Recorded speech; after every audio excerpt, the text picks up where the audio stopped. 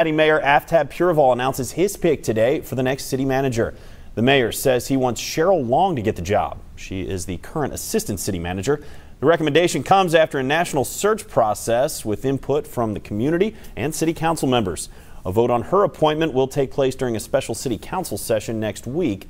Long was a finalist for the job along with John Curp, who has served as interim city manager for the past eight months.